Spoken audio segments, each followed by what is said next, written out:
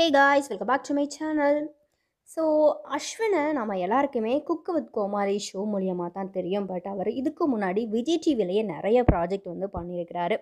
So Vijay டிவியில் ஒளிபரப்பான ரெட்டை வாழ்க்குருவி நினைக்க தெரிந்த மனமே இது போன்ற சீரியல்களையும் அஸ்வின் நடிச்சிருக்கிறாரு. அதே போல் ஓ காதல் கண்மணி ஆதித்ய வர்மா இது போன்ற படங்கள்லையும் சின்ன சின்ன கேரக்டர்களில் அஸ்வின் நடிச்சிருக்கிறாரு. மேலும் இவர் செல்லமே அப்படிங்கிற படத்தில் துணை கதாபாத்திரத்தின் மூலியமாக தான் சினிமா உலகிற்கு அறிமுகமானார். இருந்தாலும் cook with Comali season two நிகழ்ச்சி தான் அஸ்வினை ரசிகர்கள் மத்தியில் பிரபலமாக்கிச்சு. இந்த ஷோ மூலியமாக அஸ்வின் நிறைய ரசிகர்களை தன் வசப்படுத்திட்டாரு அப்படின்ட்டு தான் சொல்லணும். அதுலேயும் பெண் ரசிகைகள் அஸ்வினுக்கு அதிகம்.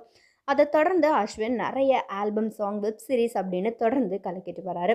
இப்போது அஸ்வின் என்ன சொல்ல போகிறாய் அப்படிங்கிற மூவியில் நடிச்சிருந்தாரு. ரீசெண்டாக இந்த படத்தோட இசை வெளியீட்டு விழா நடந்துச்சு. அதில் அஸ்வின் பேசின பேச்சு பெரும் சர்ச்சையாகவே மாறுச்சு.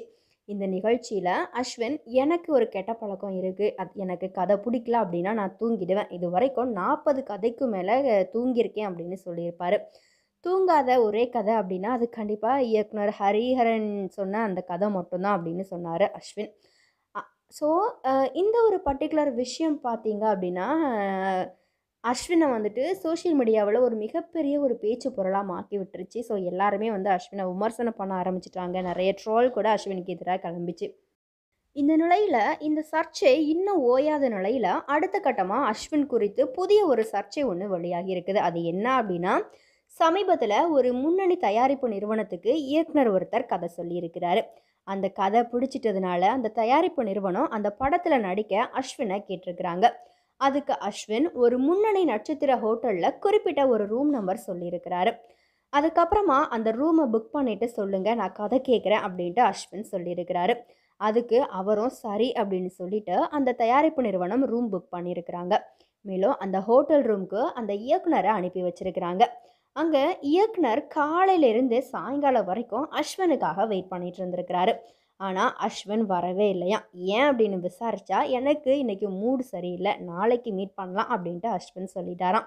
இதனால் கடுப்பான அந்த தயாரிப்பு நிறுவனம் அந்த படத்தில் அஸ்வனுக்கு பதிலாக வேற ஒரு நடிகரை நடிக்க முடிவெடுத்திருக்கிறதாகவும் சொல்லியிருக்கிறாங்க. அது கவின் அப்படிங்கிற மாதிரியாகவும் சொல்லப்படுது.